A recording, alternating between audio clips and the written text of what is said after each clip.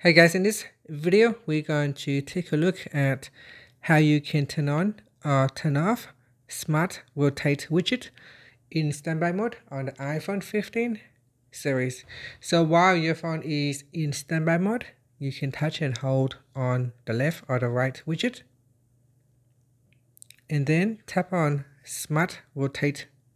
So tap on that button to switch it off or turn it on and after you can tap on done. Now if you don't know how to activate the standby mode what you can do is go back to your home screen.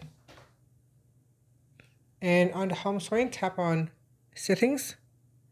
Next in the settings page we go down and then tap on standby then tap on standby to switch it on. Now once this is switched on your phone needs to be uh, charge. So it needs to be charged with a cable or wireless charging. And it needs to stay on the side like this. So let's say if I lock it and then have it on the side like that.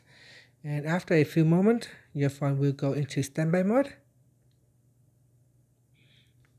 And from here, you can switch between different uh, standby mode layout. In here, we've got the widget panel layout. You got the uh, photo albums. And here we've got the clock. Okay, so over here, uh, when you go into this, you can touch and hold onto a widget and choose the Smart Rotate. Now, according to Apple, Smart Rotate allow the system at the right time to automatically scroll to a widget that is already in a stack. So it should automatically rotate your uh, widgets around from the stack. And that's it. Thank you for watching this video. Please like and subscribe to my channel for more videos.